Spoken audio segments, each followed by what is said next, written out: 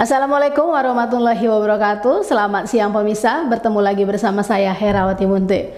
Pemirsa, beberapa menit ke depan kami akan menyampaikan berita-berita terkini dari Kabupaten Kota Provinsi Sumatera Utara.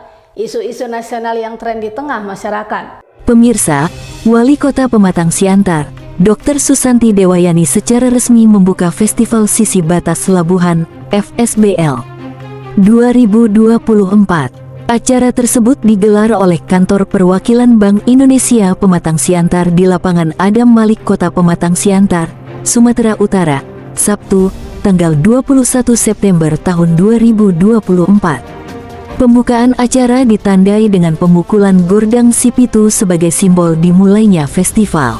Dalam sambutannya, Dr. Susanti menyampaikan harapan agar FSBL 2024 dapat berkontribusi pada peningkatan kesejahteraan masyarakat di wilayah sisi batas Labuhan, yang meliputi delapan kabupaten, kota di bawah cakupan kantor perwakilan Bank Indonesia Pematang Siantar. Ia juga menyoroti penghargaan yang baru saja diterima Kota Pematang Siantar sebagai kota dengan indeks pembangunan ekonomi inklusif terbaik di Sumatera Utara, yang mencerminkan pertumbuhan ekonomi yang inklusif dan berkeadilan. Kami berharap pertumbuhan ekonomi Pematang Siantar terus meningkat. Ia juga mengapresiasi kantor perwakilan Bank Indonesia Pematang Siantar atas penyelenggaraan FSBL dan berharap acara ini dapat diadakan lebih sering untuk mendukung penguatan ekonomi lokal. Sementara, Kepala Kantor Perwakilan Bank Indonesia Pematang Siantar Mukorobin menjelaskan bahwa FSBL adalah agenda tahunan yang bertujuan mengembangkan UMKM dan memperkuat digitalisasi ekonomi di wilayah sisi batas Labuhan. Meski pertumbuhan ekonomi di kawasan ini masih menghadapi tantangan, Mukorobin menekankan pentingnya digitalisasi bagi UMKM agar tetap kompetitif di era ekonomi digital. Mukorobin juga mengungkapkan bahwa kantor perwakilan Bank Indonesia, Pematang Siantar telah membina 80 UMKM, sebagian besar bergerak di sektor kuliner, dan akan terus mendorong potensi wastra sebagai ikon fashion dari wilayah ini. Ia pun berharap Pematang Siantar dan sisi batas Labuhan dapat menjadi pusat perkembangan mode di Sumatera Utara.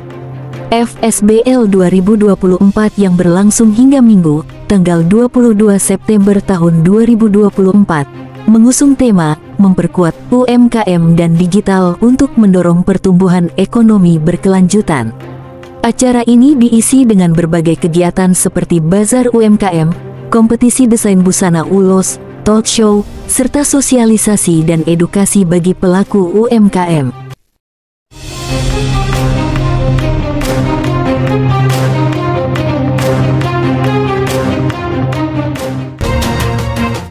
Assalamualaikum warahmatullahi wabarakatuh Pemirsa Mona Lisa Saat ini kita berada di lapangan Haji Adam Malik Yaitu mengikuti kegiatan Festival Sisi Batas Labuan Yang dilaksanakan oleh Bank Indonesia Pematang Siantar.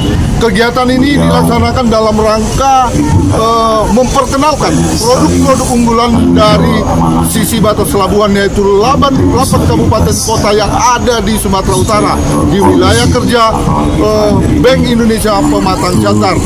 Pemirsa, hari ini kita akan melihat seperti apa konsep yang digelar oleh Bank Indonesia dalam memperkenalkan produk-produk unggulan yang ada di Sumatera Utara. Berbagai kegiatan telah digelar dan telah dilaksanakan dan ini akan kita uh, ikutin bagaimana produk-produk unggulan yang sudah go digital di Provinsi Sumatera Utara. Untuk itu pemirsa ikuti terus perjalanan kami.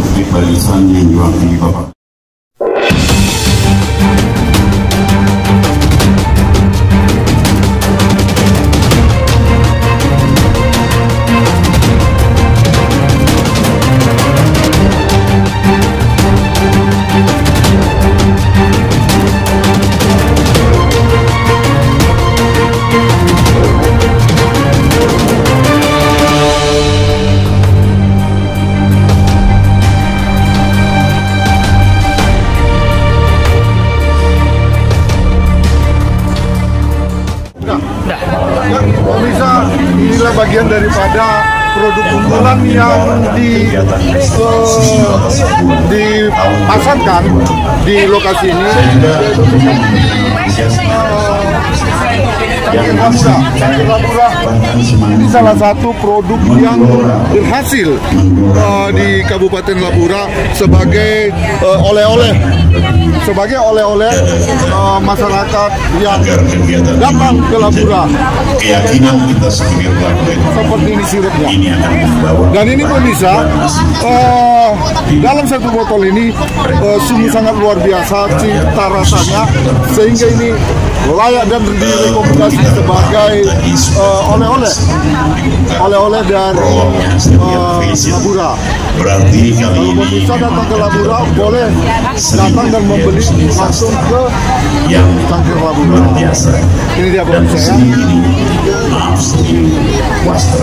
ya. ini pemirsa, uh, kekayaan Indonesia ini telah penuh dengan tenun keluar setiap dan daerah telah dikenal di Sumatera Utara bahkan mungkin udah tingkat nasional. kami Oh, inilah salah satu produk unggulan yang ada dari uh, Kabupaten Labura. Untuk itu pemirsa kita ikutin terus dan kita akan lihat secara langsung stand-stand yang disajikan uh, untuk memanjakan masyarakat kota Pematang Siantar. banyak saudara-saudara Dari kota Pematang Siantar, Sumatera Utara, tim liputan Mona Lisa TV melaporkan.